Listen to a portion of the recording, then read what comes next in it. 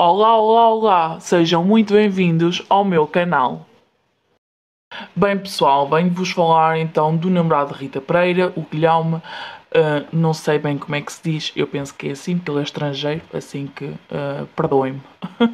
Mas pronto, venho-vos falar deles, porquê? Porque, como sabem, Rita Pereira vai participar numa nova novela da TVI e anunciou nas redes sociais que hoje é dia de mudança. Podem ir ver sobre isso no vídeo que eu já publiquei hoje sobre esse assunto. As gravações arrancam em breve e Rita Pereira anunciou nas redes sociais que é dia de mudança e de renovar energias e de uma nova etapa na vida dela dela. Um, Guilherme, Guilherme Lalung, namorado da atriz e apresentadora, deixou uma mensagem divertida ao canal dizendo o seguinte: Olá TVI, eu sou o Guilherme, o agente do cabelo da nossa Ritinha. Podemos fazer uma entrevista para falar do próximo hairstyle uh, da, minha da minha cliente.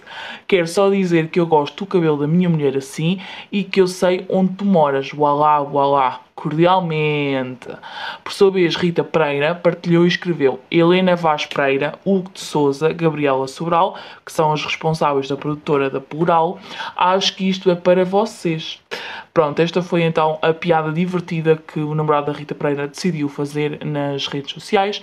E porquê? Porque Rita Pereira mudou o seu estilo de cabelo, cortou o cabelo, está completamente diferente e uh, eles já deviam saber que isso iria acontecer e ele decidiu publicar uma foto então da Rita Pereira com o cabelo grande e fazer esta piada. Assim que é isto, pessoal. Se gostaste do vídeo e queres ver mais, deixa o teu like aí em baixo, subscreve-te ao canal e ativa as notificações.